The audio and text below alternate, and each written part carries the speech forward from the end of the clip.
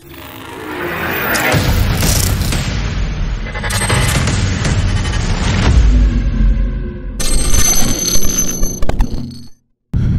New Jersey Ultra.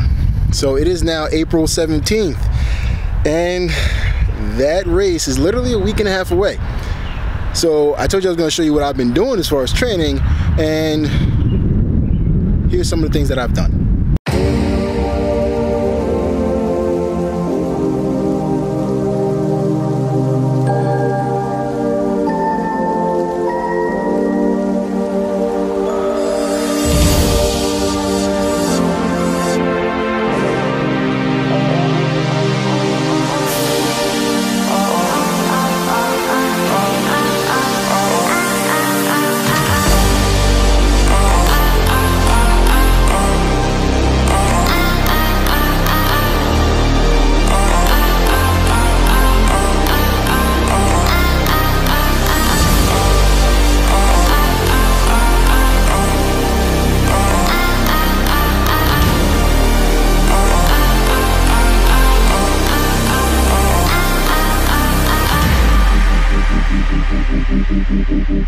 Thank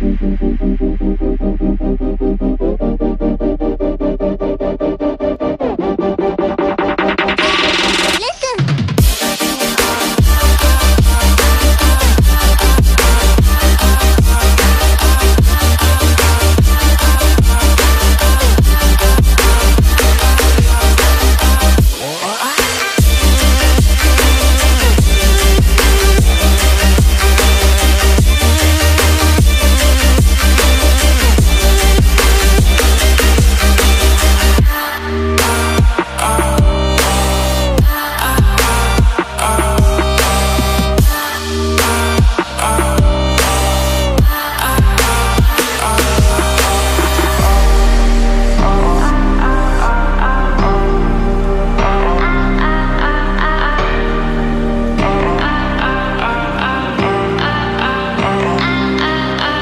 Now, here's the thing about training for New Jersey Ultra. Sometimes hit or miss. So I've done a lot of hills and stuff like that, as you can see in the, the video, and I've done a lot of Spartan races so far up until from January into January till now. I have done about nine races.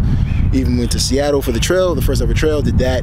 Um, done Chino, California's race. Done Charlotte. You know, and all those videos will be posted up soon. But some of the footage you've just seen is from actually some of those races. So what is a New Jersey Ultra? So if you don't know what a New Jersey Ultra is, it is uh, pretty much the Spartan Beast, but two laps and a little extra. And you know, like I said, I've done it once years ago when Norman Koch was designing the course, and now we got a new designer, so we'll see how this one goes. Now, it's hit or miss on the actual mileage of the Ultra. You're looking anywhere between 20 to 30 miles. You know, so you're looking at different distances there. And you know, you got the bucket carry, the sandbag carry, barbed wire crawls, things like that. Oh, we're taking a nice little walk here. So there's a bunch of different things you do in these races.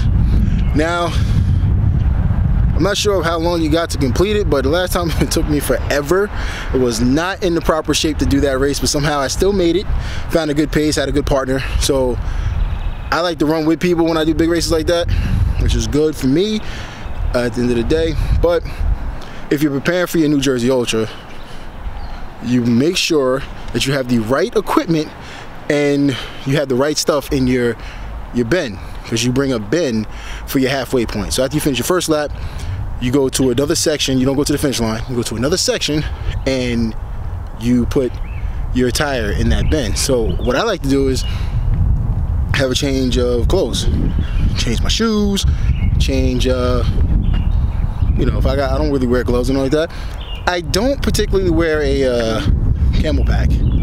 I'm big enough, I don't need anything weighing me down. So I don't do that. And food. You need food. I did my first ultra with no food and I was gonna, gonna die. So you make sure you have all that kind of stuff. So that's pretty much what it comes down to for the ultra. And you will see. I have no doubt in my mind that I'm gonna make it but it just depends on how long it takes me or if I get injured again. So we'll see how that goes. Other than that, stay tuned. You're gonna get a, I'm gonna have a couple other people that's doing the ultra with me. I'm gonna interview them to see how they feel before and after the ultra. All right. So, thanks for watching, and this is what's gonna happen. Peace.